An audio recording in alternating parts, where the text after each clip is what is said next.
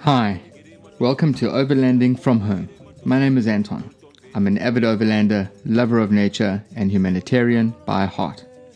The past while, I've always been interested in the outdoors, and I want to hear about other people's experiences and their rigs. Yes, the big rigs, the small rigs, everything they've done to design them and how they plan it. I hope you enjoy listening. Let's find out who today's guest is.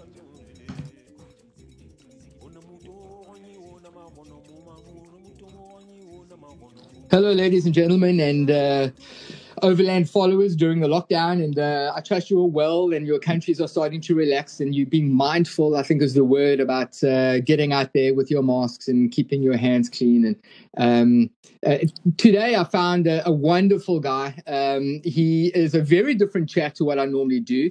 Um, a avid overlander, but he has two wheels and not And uh, I want to I want to happily introduce a chap by uh, the name of Pavel Kunc, and uh, his his handle on Instagram is far and farther, or further, I should say. And uh, um, I, am very pleased to chat with you. It's going to be a completely epic chat because looking at your channels, it's going to be amazing, dude. And I'm sure there's going to be a lot to to chat about. So so thanks very much for signing in, uh, Pavel. Thank you very much for having me. Actually, that was uh, really nice. Yeah, it's uh, it's. I'm I'm pretty sure you were as uh, surprised as I was. I mean, I I I love. Uh, I actually follow um, the hashtag overlanding, and yes. it, it, it brings up everything. You know, there's some really weird ones. Um, there was a there was a, a black lady showing her her uh, reading glasses, and I completely didn't understand where where overlanding came up from from reading glasses. But anyway, um, you were there, and I went onto your channels, and it was pretty pretty gnarly. Um, it looks like you've done a fair amount, the UK uh, to India and back. Uh, obviously, 2020, you're in uh, you're in Africa, and right now you are stuck in not a bad place, being Morocco. Is that correct? Yeah, exactly. I got stuck in Morocco for now about three months. But to be honest, there's not much to complain about being stuck in Morocco.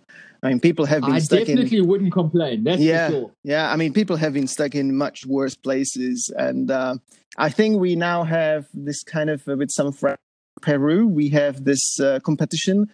Uh, which lockdown is going to be the longest in the world? Whether it's going to be Moroccan one or a Peruvian really? Wow, wow. That that's going to be a pretty gnarly one because you know I think it's it's personally and and this isn't what the chat's about, but it's really boiling down to a political thing at the moment. So you know it depends on which government's going to hold out the longest before uh, the public start rioting and causing trouble. Yeah, I think so. It's uh, especially in Morocco, for example. I think that uh, they kind of follow a suit and kind of you know there, there's not the amount of much of testing and all that so i think that it's uh, a lot of uh, instead of actually some kind of a health um, control really but luckily we are in a lockdown ease um, phase so um, you know uh, from uh, two days ago we can actually go out we can the shops are open and all that you stay within the same province um, which yes. uh,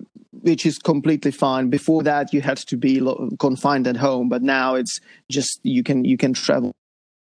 I'm quite uh, looking forward to explore some of the mountains just behind the house Wonderful. and all that. Yeah.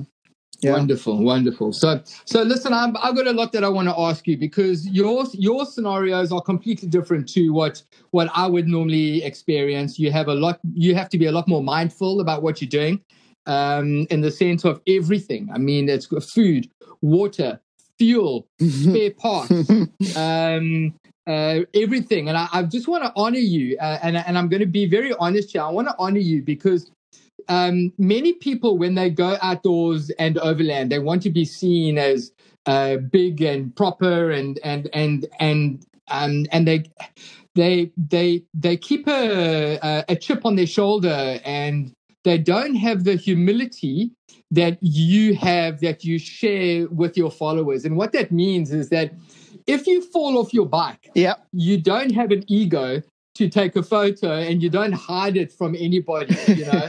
and I think that is that is amazing, dude, because many people they're like, no, don't take any photos. I don't want anyone to know that I fell or like I ripped a tire off and I, you know, I turned my vehicle upside down. You obviously don't have that problem, which I think is fantastic. No, I, I, totally don't have that problem. I think it boils. Uh, one part of that is that you know, without showing people that um, this happens almost it can happen every day you know. Now i'm training here some enduro skills and i drop the bike every day and there's no reason why people shouldn't see that that that happens. You know i got stuck on a log in um in montenegro and i posted it you know these things are happening uh and you have to be ready for it because it's not all just super cool traveling and super photos and super landscapes. There's a lot of trouble and I would call almost call shit on the road, which can happen and go yeah. wrong.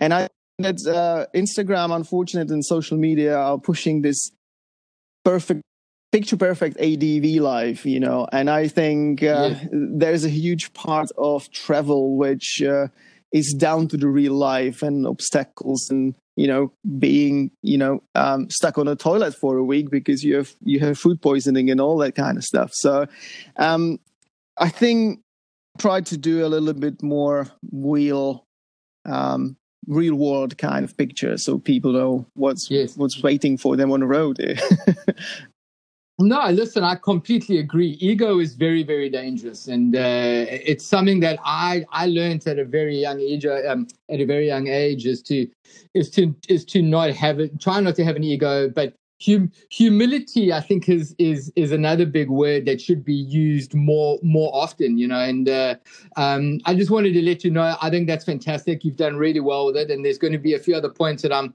I'm going to touch up on, but.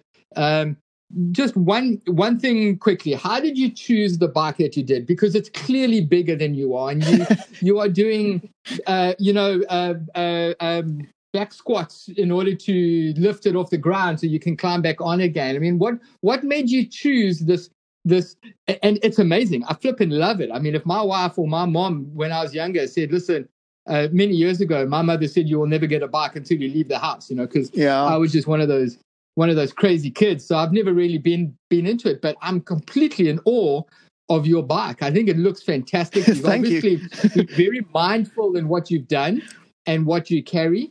How did you decide on this bike that made it the one that, that is going to work for you and, and where you're going? So that's a really good question because this is my second bike. I'm not like this um, motorcycling veteran as uh, some of those uh, people are. so I'm riding motorcycles only since 2013, and uh, this is second. It was Honda CB 500X, which is the similar weight. Uh, so we are talking a 200 kilo bike. And on that Honda, I went to India and back. That was the first trip, and um, that kind of only by doing that trip, I figured out what I actually need from the motorcycle and what are the limits of that Honda. So Honda, for example, had 47 horsepower, and now I have Yamaha 700, uh, Tenere 700, which has 70 horse, horsepower, right? And okay. without actually riding that Honda for 54, well, I, I did 100,000 kilometers on the Honda, 54,000, right? So I know exactly where the limits of that Honda like are and based on yeah, that yeah. experience and based on what I didn't like or where the limit was, for example, on a sand, that Honda was almost impossible to ride with the luggage, right? So I was now looking yes. for the bike which would be similar weight or lighter, a little bit more powerful, but it would be as simple as Honda. There's almost no electronics on these bikes, both on the Honda and Tenere, right? So I okay. I chose this um, this Yamaha because it is really upgraded CB. And it's the bike which is very simple uh, by these today's measures. It has two cylinders and it doesn't have a huge amount of power, and it's water cooled, which means that it's really reliable engine and it's really simple yeah. to fix. There's there's only ABS on that bike. There's no bells and whistles, anything, and it has same weight. And I'm because I rode hundred thousand kilometers with with the 200 kilos, I'm really used to uh, that amount of weight. You know, and I lived in London for 13 years before I left uh, on that trip, and you just cannot. You know, I didn't have a garage there, and the only insurance for a dirt bike where I could learn would be so expensive that it was prohibitively like impossible to buy a second bike because it's it's it's just so expensive. So I was stuck with these bigger bikes, and that's really my my whole career is on a bigger bikes. So um, yeah, I have a just experience and and um, feel for the big bikes. You know, I have a friend here in Morocco, and she rides uh, DRZ 400, which is 40 or 50 kilo lighter bike, and I don't feel yes that um, confident or safe on the lighter bike because it jumps over all the all the time. If you go off road on the lighter bikes, okay. they are uh, much more. You are able to control them much more easily with your weight. But also the bike, yes. if you go over the stones, the bike, the lighter bike, just jumps all over the place, and you have to balance it out. With the heavier bike like mine, I just keep the balance and just plow through it just gas, constant throttle, yes. and that's it. You know.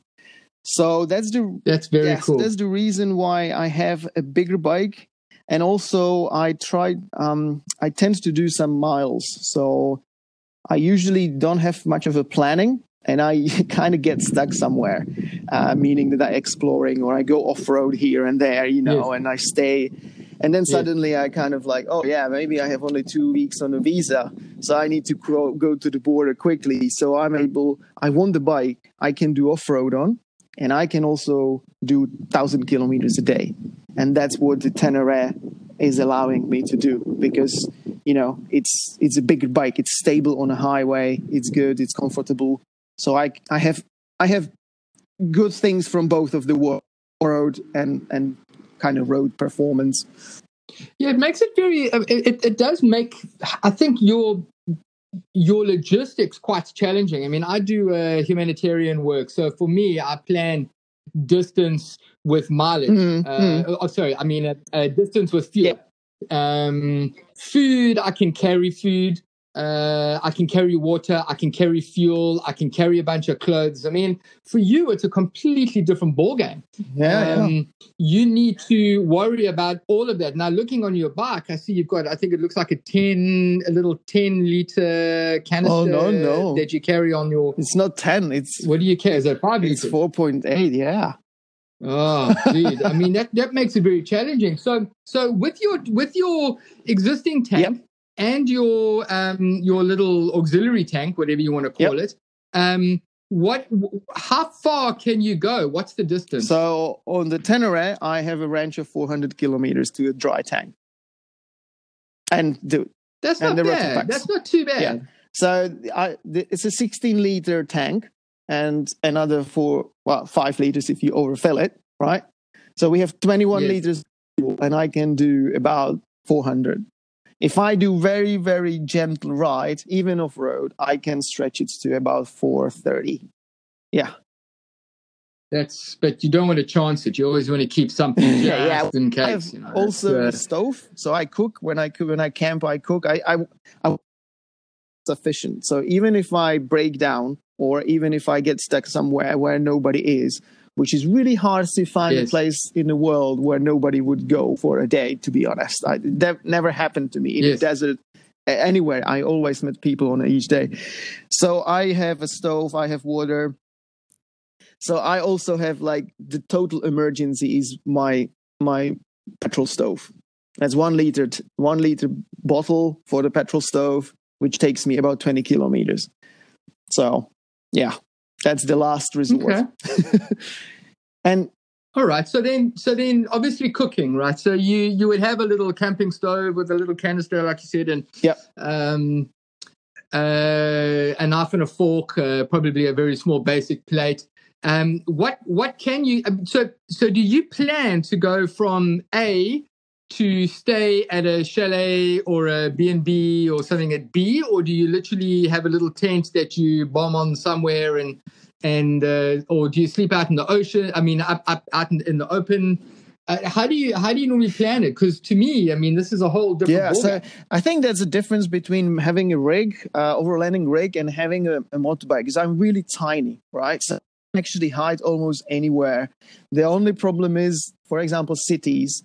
Then you have a little bit of advantage because you are carrying. I don't know if you have a tent on your rig, but um, you usually people kind of sleep in the cars or rigs. Yes. For me, that's more difficult. So I tend to go um, through the mountains. So let, let's say there are two different modes on a motorcycle. So if you go and like my first parts to India, um, what I did is um, that was with my ex girlfriend, and we kind of went in and we had a direction, and then in each city we kind of looked for the accommodation, and we parked the bike, she parked the car, and and that was it, right? Yeah. And you go from we didn't book in advance, we just arrived somewhere and that was kind of what we have been doing. On the way back, though, I was camping for almost four months uh, through through Central Asia, Iran, and, and back. And that is a little bit different mode because I just rock up somewhere when I like.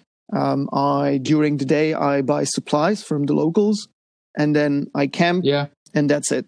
You know, because I don't have that much range, I cannot I carry maximum six liters of water, usually two liter, uh, two or four liters of yeah. water, really, um, and very little food. Yeah. Usually, foods to maximum like two, three meals because I don't have a space, right?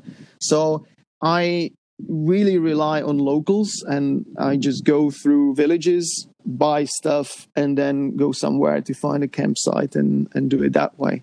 Um, yeah, that's pretty okay. That's I mean that's that's pretty pretty decent. I think uh, I'm not saying safety is a big concern, but it, you have to be mindful of mm. it hmm. too. So um, also food, like you said, there is there's nothing worse than being caught with food poisoning. I've um, I'm I'm a very big fan of of of eating off the side of the road. So those little kiosks on the side of the roads, I will I will go and eat no problem, and and I've never ever been sick. I was in hmm. Egypt mm. flying to Ghana and I ate in a restaurant and I had yeah. food poisoning. They had to take me to the clinic when I arrived yeah. in Ghana. Um, and that taught me a lesson. Don't eat in restaurants. you know, just if you eat on the side of the road, you can see what you uh, what you're eating. If you think it needs to be cooked more, they can put it back yep. on the fire. Yep. Um, you know, to me, that's a that's a very big deal. So um, I'm hundred percent agree with that. I mean, I met uh, so because I have a friend and she's a pharmacist. Um, I had really good medication with me um, on a on a trip, and what happened was yes. that I literally was dealing drugs throughout Central Asia to the foreigners and to the to the tourists. Because they they didn't Beautiful. have correct medication. They didn't know what to take. And you know everybody was just snacking imodiums like m&ms and that is the worst thing you can actually yeah. do for yourself.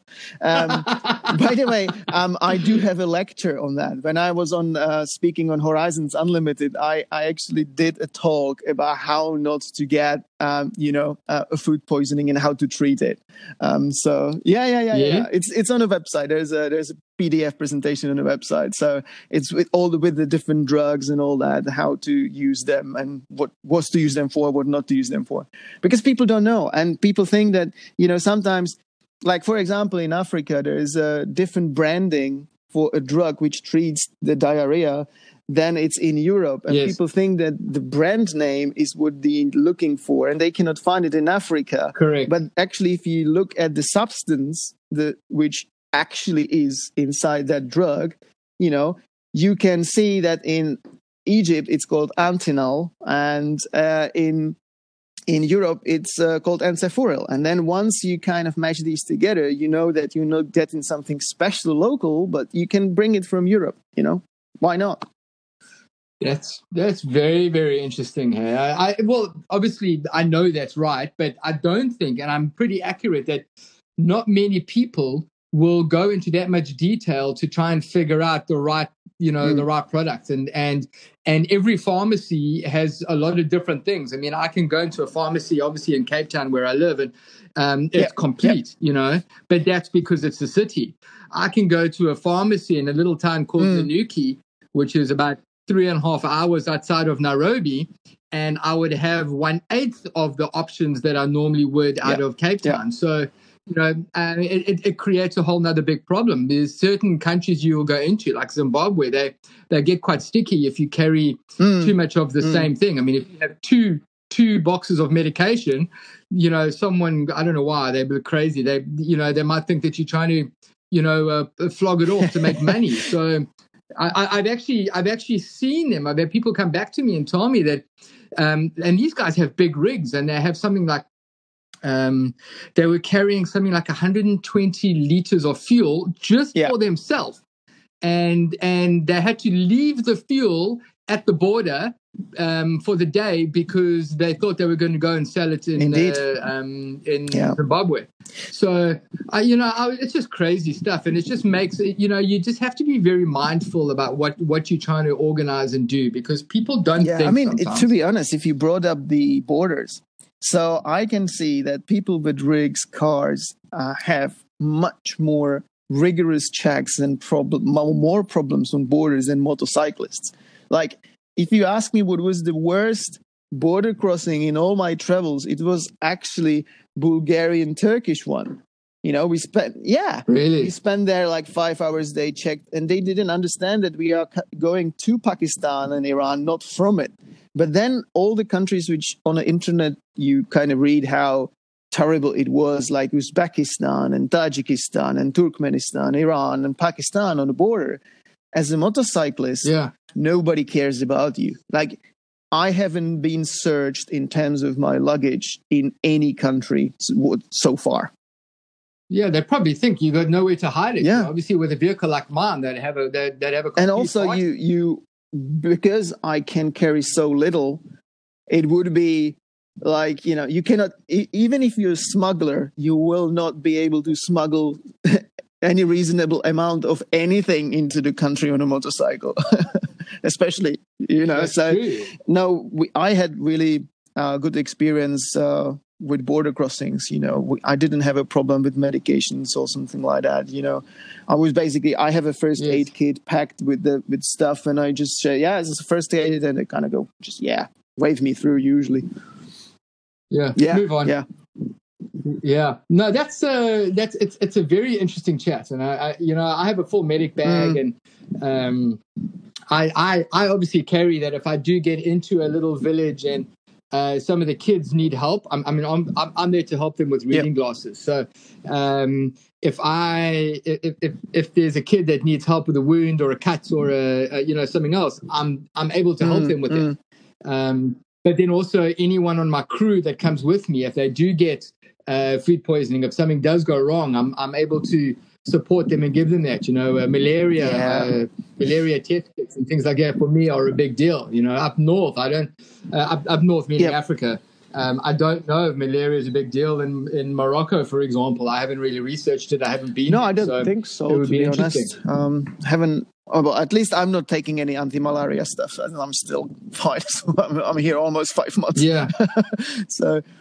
Yeah, well, has there has there been any direction on the, from the from the country about uh, chilling up on the um, on the restrictions? You know, the, the state of emergency is now pushed uh, to 10th of July, and uh, that means that um, they have to decide what they want to do after that. And I think that this is the ease out phase. So I hope that in July they will be able to open the border, but until 10th mm. of July, there's nothing. And, you know, um, I mean, here where I am, I'm on a little seaside town called uh, Tamraght. You know, it was very relaxed in terms of restrictions. Um, so I, I have yeah, nothing yeah. to complain about, to be honest. Uh, it was really nice to stay here. Locals are really nice. You know, there were some reports. I'm not sure. Maybe you can fill me in on that one. Um, there were some reports that in Africa, foreigners were kind of seen as um, distributing the corona or spreading the corona. So there was a little bit of like antagonism against the the foreigners. Um, I'm not sure what if that's yeah. actually true or not. But in, here in Morocco, there's nothing like that. People attitude to, towards us as foreigners didn't change at all in here at all yeah so just to give you a, a like a one minute there was a big misunderstanding by uh, certain township areas, and unfortunately, it was in the black areas uh, within Africa that they believed that it, this was a white man's virus, and the blacks couldn't get it because the white men brought it mm. from overseas. Um, and it caused it didn't cause a lot of trouble. It was a misunderstanding. Then they realized, okay, hang on a minute. But you know, the the bigger problem outside of that, uh, which is education, yeah. the biggest problem is a lot of these countries within Africa, as we all know, live hand to mouth. And yeah. that's that's caused more trouble Indeed. because um, they need to be out in the streets in order to make money to live yeah. for that night. Um, and they, if they can't do that, they can't eat. If they can't eat, it causes obviously unrest and then crime, and then all sorts of st- and then all sorts of stuff comes up. So um, that that was one of the things. It wasn't many countries. I know Kenya was one. I think DRC was the other. South Africa mm. was one. Um, I think that was about it. But you know, um, it's hit different countries in Africa very differently. Oh, that's interesting. Yeah um, we were we were given restrictions for three mm. weeks, complete lockdown. You can only go to a pharmacy yep. or hospital. You can go to buy food, no alcohol, mm. no cigarettes, um, no buying clothes, nothing like that. You can buy food, um, and you can buy go to the pharmacy and doctor. Yep. That was it. And we're on three months now, and it's now been declared unconstitutional yep. um, because we're on our third month and uh, on our third month and um, now we're on level three in South Africa. Uh, and we're sitting on, I think, 50,000 mm. people. I think, actually, I haven't even checked. I don't really look at it anymore because it's become political. There we go, 52, so 53,000 people um, and 29,000 recovered. So more recovered than confirmed, yeah. Uh, yeah. Makes, which is great. Um, so there, it looks like there's a bit of a tipping point. Um, so it, it's it's definitely it, it's very interesting to see how um, you know how it's perceived in certain areas, and and I'm you know I'm I was supposed to do a, a humanitarian trip uh, the week yeah. of the lockdown. Okay. And uh, obviously, I couldn't do that. I, I put it on hold. So, um, is is so it planned to resume I'm, the I'm, operation it will it will happen. It's just been on it's just been put on yeah. on hold. Um, and I'm hoping August, maybe September, to go to go ahead and do it. You know, for obviously for us, weather plays a very yep. big role. Um, it's heading into winter now. We've had three days of heavy winds and heavy rains um, in the in the, in the Western Cape in in in, in Cape Town. So uh, we're going into winter. We're going to chill. Going into summer is normally like mm-hmm. November. Um, so September, October could be a nice time to go. Chilly in the evening, but nice weather during the day. You know, up uh, going up north into Botswana. Okay, so you're going to beautiful okay. 20, 26 degree mm. days and then it's like you know single single digits uh, in in the so uh, speaking about that um, so um, obviously you're going to cross the borders to botswana. Would that mean yes. um, so you positive feeling about actually that africa will kind of open and resume the border cross border travel by let's say august september november october ish um, so I say yes mm. and no. Um, th- although things are lightening up, the the a country, and, and here's a true example. So Botswana borders us. There's massive travel because people fly into yep. Johannesburg and then drive into Botswana, mm-hmm. for example. And there's a massive uh, a massive drive because of tourism that has been affected heavily Indeed. by the lockdown. But the borders in Botswana, there's a handful of people with the virus compared to South Africa. So South Africa might say, we will mm-hmm. open the border. But Botswana might say, no, we're keeping the border closed because we don't want any viruses yeah, coming yeah. over. Uh, you know, uh, just to give you an example, a live mm. example mm. right now, uh, let me just zoom in. Botswana is showing, oh, that's Zambia. Botswana is showing 48 people with the virus. 48. 48. South Africa is sitting on 58,000 or 50, 48 you know, people a, or 48,000 people? 48. okay, that's, a, that's, a, that is staggering difference, isn't it? it Exactly, exactly. So I think that's what's going to be the deciding Mm. factor. You know, if if um, I think that's really what it's going to boil boil down to is is is Yeah. that you know, um, and and I think this is where the the after coronavirus is going to come into Mm. effect. So for you, um, uh, moving across border might be might I don't know. It, it might be depending on mode of transport. Being on a bike, they might say Mm, doesn't mm. matter. You know, you you're not involved with anyone and and things like that. So anyway, I don't want to spend time on that. There's still so much. To, Yeah, yeah. uh, let's crack to- on. I mean, like we could to- we could probably talk Yeah, about yeah, yeah, Corona correct, for, correct. for a long time, isn't it? correct. So um, obviously you've chosen the tires that you have, and they work very well. Uh, do you have a tire puncture course. kit?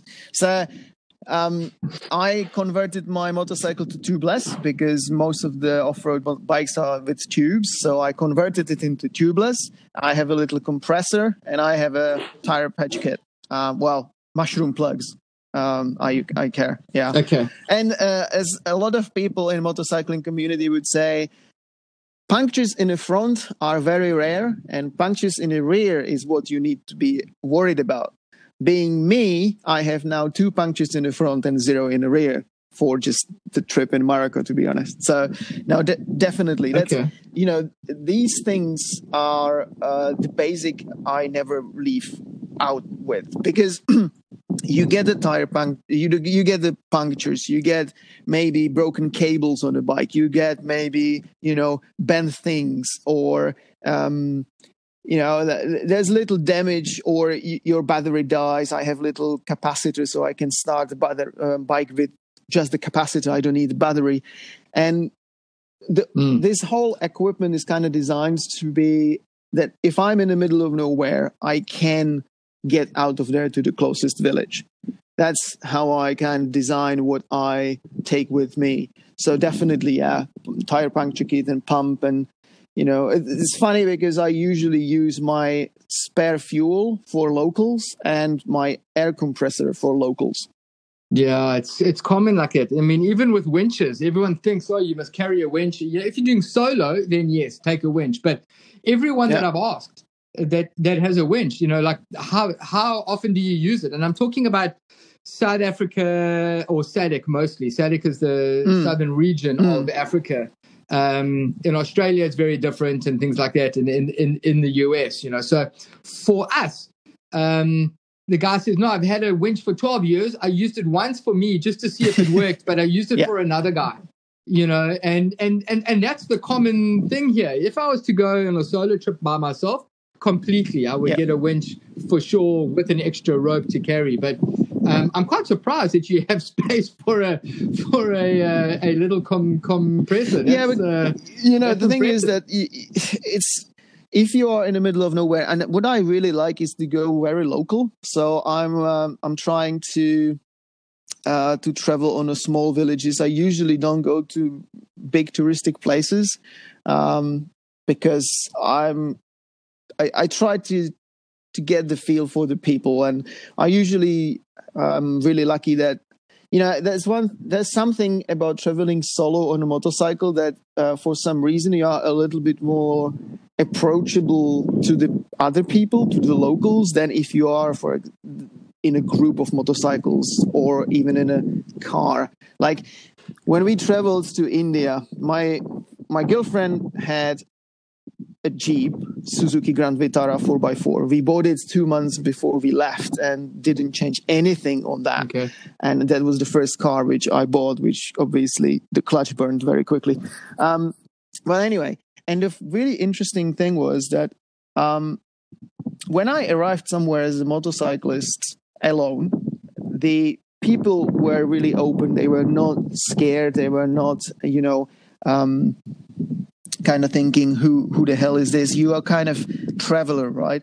But if you rock up somewhere Yeah. with a car because a lot of cultures have a car as a status of of as, as a symbol of a status or a wealth it kind of is a little bit different then so it was really interesting um, that i really had the two experiences going with the car motorcycle and a car to india was one trip, and going solo on a motorbike back was another trip. And it really changes the dynamics when you in, interact with the locals. It's really interesting, really interesting. Wow, I mean that's uh, that's quite dynamic to have those, you know, because everything's different, cultures are different, food yep. is different, and um, religion. Oh, yeah. uh, but no one sits and thinks about the difference between vehicles. I know that there's a difference between brands in in South Africa. There's always a ripoff between a oh, Ford, oh, really? a Toyota, Land really? Rover, and a it's crazy. I'm actually so sick and tired of it. You know, everyone thinks that because I drive a Land Rover that my vehicle breaks down all the time. I mean, it's probably um, similar, which which yeah, is not yeah. true. I think it's probably similar in a in um, a motorcycling community. So, um, uh, let's say ten years ago, there was this program, Long Way Round, which was Ewan McGregor or Charlie Boorman. They basically yeah, yeah, they took the BMWs that. around the world, right? And then yes. that started the yes. whole adventure motorcycling. And even like calling adventure motorcycling just doesn't make sense that some bikes are called adventure motorcycles and some are not.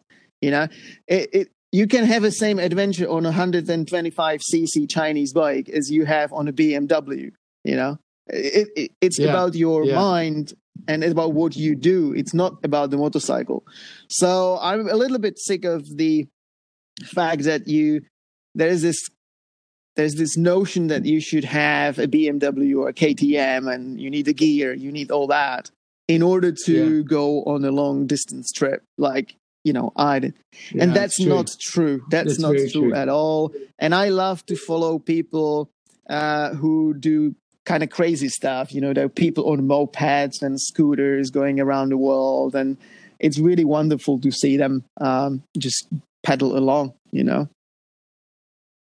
Yeah, no, I completely agree. So, so tell me, um, your best, or, or what do you use for navigation? I mean, obviously on your bike, I see you've got this, uh, um, you've got this quite a big uh, I don't know what to call it, like a big screen on it. Does does that give you all the uh, um, bits and pieces on on temperature and stuff like that on your bike as well as navigation? Do you use your phone for nav? I'm yeah, sure so I mean, uh, most people because do. obviously as light as possible and as cheap as possible in a sense. So I don't have a special yeah. GPS unit. Um, I only use my my iPhone uh, as a as the main navigation. And now, well, actually, that's not true. I bought a really cheap um, Android phone, uh, which I have on a motorbike. Because if you have fo- iPhone, everybody thinks that you're rich, especially on the border crossings. Uh, so I, y- yeah, really, that, that, was that was throughout Central Asia. Throughout Central Asia, it was quite um, quite because uh, again, I think that the Apple is considered like a luxury brand. So what so what I wow. did is that I have iPhone in my pocket, and for navigation I'm using Android phone, and I'm using application which is called Maps.me. Maps.me. Yeah, yeah, yeah. Maps.me. Um, and yeah. that is main source of my navigation off road. Uh, when I go, um, I sometimes go where actually there's no roads. So what I do is on a satellite, I look um, on a Google satellite and plot my own route through the dirt roads if if there is no road. Yes. And then I imported that to Maps.me, so I I have a route to follow. Yeah. Okay. Okay. That's that's yeah yeah. I mean, that, it, Maps.me is a perfect. You know, it's offline. It runs on phones, uh, both uh, Android and iPhone, and it's wonderful application because because the map data are not accurate, which means that you get lost. I mean that to me it happens yeah. so many times that you maps.me tells you there's a road. You arrive there there's no road. Or maps.me says there's no road and there's a highway. You know so it is I, I love to travel with it because it has this unpredictable kind of elements to it. Yes yes yes I I don't uh, I don't trust maps personally. I mean, I, I had a hmm. Garmin and uh, I don't I didn't trust it. I would always refer it, and I didn't trust um, Google Maps either. I use Google Maps a lot, but I I wouldn't I wouldn't like like now. In fact, what I've done, which you would may find interesting, is that I've taken and uh, I've got the new iPad yep. Mini and I downloaded all the maps on it maps.me, iOverlander, mm. Google Maps. Uh, there's tracks for Africa, which Oh, might be tracks for Africa. I don't know that. Yeah. Okay. Um, that's a very, very big African tracks. It's not very big way up north where you are. There are some. It's more for down the southern areas, central southern areas, Africa. But go on, I'll send you a link. You can have a look. They're, they're amazing.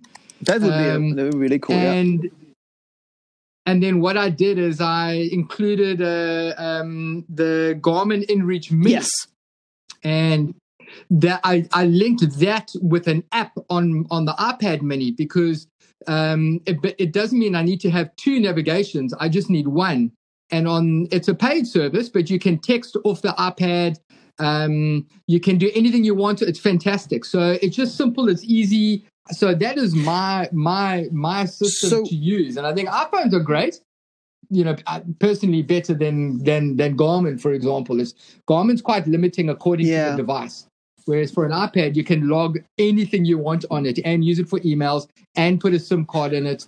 Um, you know, so hold on. Um, so I have um, Garmin InReach Mini uh, as a as an emergency beacon and all that, and I paid the cheapest subscription, obviously. uh, so it's only Yes. for the SOS, really.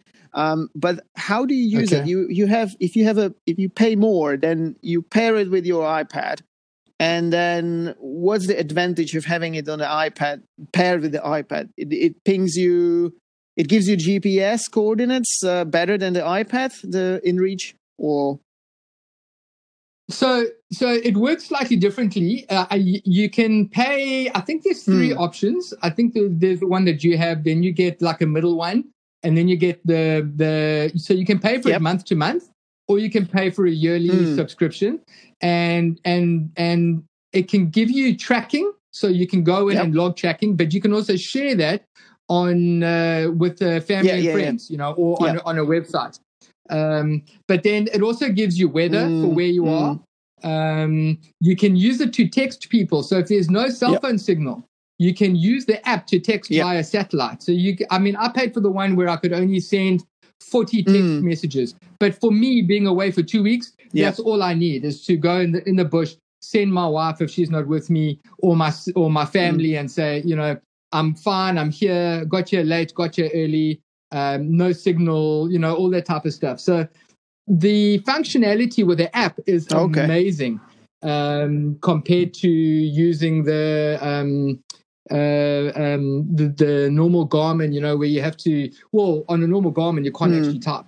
Um, there is no messaging Yeah, service yeah. for it, so you can buy the expensive one, but for the cheaper one, it's Yeah, super yeah, yeah. easy. no, that's good. That's a good good thing. Well, Um, so, so what's next? Uh, let's have a look here. Um, what is the favorite mod on your on your bike at the moment? ah, well, I haven't modified it that much to be honest. Um, because I like to keep it stock because then you can repair it anywhere in the world most often. If you have special stuff on a, on a, on a bike, then it's terrible. Um, favorite mod. To be honest, it's gonna be the stronger spring on my rear suspension when I put it on because it's quite bouncy at the moment. It's a soft spring. Um, it's it's almost Okay. stock bike. I mean, I have added just very few tiny bits like heated grips, you know. So when you are up in the altitude, you don't your your hands not freeze. Um, some lights, uh, but other than that, it's a completely stock bike.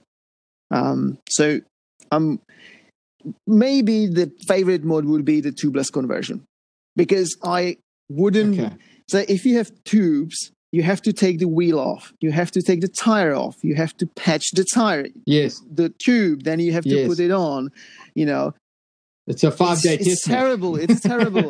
you know, and with me, I'm in 10 minutes, I plug it with the mushroom, and in 10 minutes, off I go. You know, I carry the spare tube Lovely. because if you cut the tire, then Yeah. you would be done. But, you know, for a punctures, that's probably the, the best mod. Yeah. Okay, so I want to touch on two things before I ask you a last question. So, so this has actually come up before with a with a with a friend of mine that I did a well now a friend that I did a, another podcast with Ferenc. He's from uh, Mhm. Hungary, uh, and and by the way, folks, if you're listening, I did mention it earlier. Um, Pavel is from uh, Czech Republic. So um, uh, rubbish, plastic, and recycling is a massive issue. And I see you very focused on planting trees. Is is yes. is that right? Is, yes, is I have two projects. I have uh, Trees for Lure, which is planting trees on reforestation project in Albania. Um, that happened when I was coming back through national park in Albania on my way back from India. Um, I I fell in love a little bit with the area. and was kind of thinking how to get how to give back to the communities uh, as from the like us travelers. So I started this, and we would like to um, re- do actually reforestation from the national park, really. Uh, and um, unfortunately, last year when we were about to start planting, there was an earthquake, six point five Richter scale. So it, was wow. exactly the time when we were having a, a planting event and this year, in the spring, when we were going in and have everything planned, we already bought trees. Um, there was a coronavirus, so we are gonna try yes. um, autumn. Uh, so that's one of the projects, and then uh, another is I don't trash my travel, uh, which is on the website yes. as well. Yes.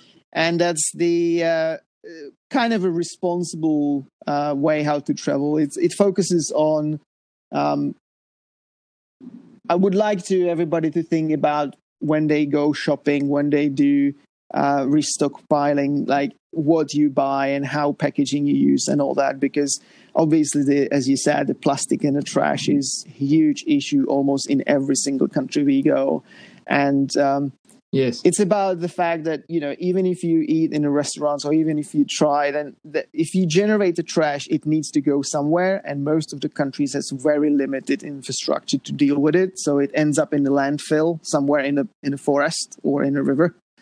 Yes. So it's, it's a little bit of education on that one. Yeah.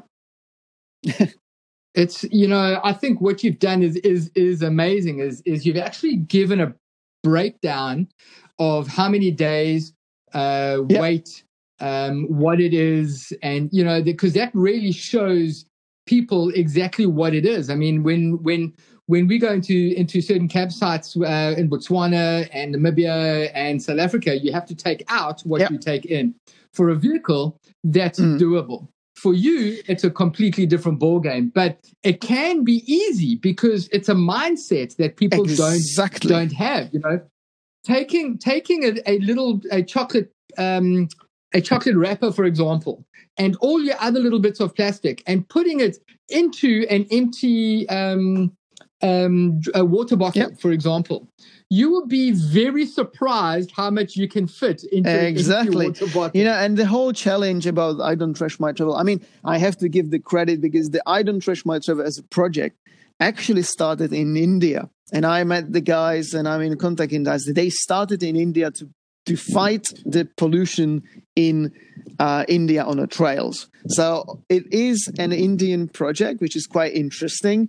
And what I did is I, I did this um, challenge to challenge myself on the motorbike to keep the trash for the duration when I'm in the country, and then you dispose it and when you're leaving the country, right? You don't you don't need to carry it all around because it would be impossible for me for a year. But what it does yes. is that you obviously run out of space very quickly on a motorcycle, and then if you go shopping, and somebody gives you a plastic bottle or a paper wrapper or a box, you are like, no, no, no. I cannot do that. So you have to have, for example, your own packaging and start shopping, and you need to con- communicate that you want to use your own packaging. And a lot of interesting things happen that way, even with the locals. I had really good feedback from people. Oh, you don't want plastic, you have your packaging. You know, let's just start to think about it that you can actually do it. True. Listen, it's very possible. I mean, my my my wife's a massive advocate for it and and and she she wanted to start a project that when you when you go into a into a grocery mm. store and you buy stuff everything's in plastic or okay. polystyrene and and uh, I, I you know to to take it from the shelf pay for it take it to your vehicle, unwrap it in your vehicle, put it mm-hmm. in your own stuff, you know, in your own little crate or your own boxes or whatever, and then give that that plastic and that polystyrene back to the store yeah. and say, "Thank you, I don't need this; it's yours. Recycle it properly." You know, obviously, most of the stores you have these big eyes going, "Oh, but we," and I, you know, they start stuttering and. But you know, to me, that's the way that it should be. You know, the guys accountability for recycling is huge, and South Africa is is not where it should be, but it's better where it mm, better than mm. where it was. Um, so there's there's some there's certain areas where they will, in, especially in Cape Town, there's certain areas where they will they'll have recycling come around on certain days. General rubbish is on like a okay. Wednesday for for me where I live, but then on a Thursday and a Friday they may come and say, right, we're coming to collect all the mm, tins mm. and glass, and then tomorrow we're going to come and do plastics, whatever, you know? Yeah. I mean, the thing is that for me, it's about not actually producing the trash in the first place because you how you know what happens with you you are a responsible person and you you like separating your trash into like tins and glass and general waste right but then what how yes. do you know what happens with it and I have been during my travels actually looking on a satellite and going to the landfills to see what ends up in the landfills like in, yes. in in Balkans or throughout the Europe, and you will find that you have everything mixed together in a landfill. And and then Scary, it's like the question is, okay, how do we fight this? Well, the only way is to actually produce less waste. To be honest, I mean, in Czech Republic, and I think that came from Western Europe. Um, not that, yeah, let's not get into that. But the there's a shops which don't, which sells you stuff, um, but they don't give you any packaging. You have to bring your own packaging. So if you want to buy, I don't know, a chocolate bar, they have a chocolate bar in a box uh, Uh, without the packaging. Yes. And you bring your own stuff and you buy rice, you buy pasta, you buy chocolate, you buy everything with like you bring your own container, you weigh the container, you weigh the stuff you want to buy, you pay for the weight, and that's it. No packaging whatsoever. Yes. So that's how it's started Lovely. In, in there. Yeah, some of them, not many. That's that's the way it should be. Uh, it, it it really should, and I think you've kind of given me an idea for my sponsors, which I'm always looking for. Um, accountability and the green footprint is uh, and, and and and your carbon footprint i think and i think that's something you should try and calculate is your is your carbon footprint is uh, is to let people understand okay well i have a similar bike or for me i have a similar vehicle what's my carbon footprint i'm i'm using yep. diesel yes but um, you know there's so many different ways and means uh, i think yep. it's fascinating um, so quickly yep. two things um, will you go to Paradise Valley for me, which is uh, not so far can, from where yeah. you are? I would love to. Have you I been haven't there been in the Paradise Valley itself. I was in a uh, in a parallel valley. Um, it's wonderful place. It's an amazing place. Um, the whole area is absolutely amazing. So I, I'm I'm waiting for the Paradise Valley because at the moment it was prohibited, and uh, I think there was a police checkpoint in Paradise Valley actually. So I went to the different one. It's only prohibited if they find out that you're there. Okay, I'm just letting you know. yeah, but definitely I can go. Yeah, what, what what's what do you have in mind? Do you it, want a picture? I, I want you to go and take a photo. It looks completely beautiful, little oasis type of vibe. It's uh, um, rocks and oh, palm yeah, yeah. trees and clear water. It just looks completely gnarly. Um, and lastly, so this is this. I don't know. I don't know how long this this will take to answer, but what is your best and worst moments that you've had while being on, on the, the track? track? Like completely devastating worst moments that you've experienced, whether you broke a tire at one o'clock in the morning, or uh, you know, what is the best and worst moment that you've experienced so, that you can think? I've been quite lucky, so I don't, I didn't really have that many. I didn't have accidents or anything. So, but there is one story, which is actually combining the best and the worst. And I think that's about that's wonderful about it. So when I was in uh, Kazakhstan, I again took the different route um, through middle of nowhere. Yes. Uh, there was like a plateau, and um, it was just uh, the sheep herders and the in yurts and all that. And I was riding through there, and there was a guy, Kanat is his name, uh, uh, the Kazakh guy on a motorcycle, and it was broken and it was not running. And we were kind of like hands and and you know like like the language barrier. So we kind of agreed that what I'm gonna yes. do is that I'm gonna um, take my rope and I'm gonna pull him uh, his motorcycle behind my motorcycle to his yurt which I didn't know was about 10 kilometers away. So we have been doing off road. I was pulling this guy on a back behind me. And then we arrived yeah. to the river and he points to the hill and says, That's his yurt. And I'm like, Okay, but it's across the river. And he's like, Yeah. and I'm like, Okay, this is going to be. this is going to be really bad idea but um obviously yeah. I kind of didn't think it through. So I was pulling this guy um, on his little Chinese bike through the river. And obviously, you know, if you're pulling someone on a motorbike, the balance is completely off, you know. And we yes. hit the stone and yes. I drowned the bike. I got the water in the oh. in the engine. I had my my engine oil um, turned into cappuccino really. Um, so I was in oh. the middle of nowhere with the bike, with the with the cappuccino in the engine. Um, it was raining. It was really kind of bad, and it was kind of grim moment because I had only one liter of oil with me. I couldn't change it, and I didn't know if I can ride hundred kilometers to the next village to get oil. So that was kind of the worst. Yes. Eh, because I had to disassemble the bike and the water was everywhere, you know, and it was really anxiety because it was the first time I drowned the bike. I didn't really know what to do with yes. it. And on that thing, the best thing happened. And the best thing is that I had an opportunity to stay three days in a yurt in in in a in a Kazakhstan with this wonderful family. Um, they helped me. They basically jumped on a horse and went to the next yurt and they brought me uh, oil from Lada Niva. Unfortunately, they put it in a plastic bottle with water. So, yeah, well, that was a little bit. Oh. But, you know, and I had, I had spent three days of um, really living with, uh, with Kanat and his family. And that was probably the, the most wonderful moment of, of uh, the whole journey because um, you can finally kind of see uh, how the people live and you can be part of them. I played yes. with the kids and I was listening to the stories. They they killed the sheep and we kind of had I, I could see all that process, how they process the meat and all that. And and eventually I just changed the oil and went.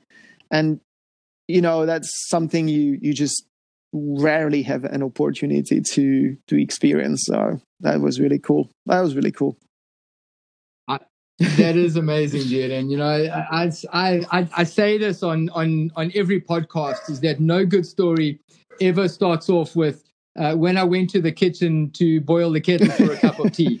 You know, it's uh, it's a story exactly like you're saying of hardship and fun and and tormention, thinking your your your uh, your your only mode of transport is swallowed. Um, but listen, Pavel, I really want to thank you for the time. I think you've been an, an amazing trooper and uh, very helpful. And I, I, I really implore you to keep doing what you're doing. And um, I think it's amazing of, uh, of, of, of what you're trying to achieve, especially with the plastic and the trees. And it's it's giving back to communities on things that are not really commonly spoken. Thank you about. very much for having me. It was really really good, and I think we a little bit over time, but uh, I mean we could probably spend hours and hours. So I totally Completely. wish uh, good luck with the project, with the with the glasses for the kids and all that. That the borders open and you can go. That would be absolutely amazing. And I really hope that I make it to the South Africa. Actually, um, hopefully starting September again. Uh, so uh, hope. well, we're not going anywhere, and the and the and you'll you'll completely uh, enjoy the ride all the way down here. And I'm sure as much as I would enjoy the ride up there, but uh, I got a, I've got a, a little bit more Indeed. responsibility. Indeed. Well, perfect. So, Thank you very much for anyway. having me. It was absolute pleasure. Have a have a blessed day, and we'll always stay in touch. Okay. Thanks Bye-bye. a lot.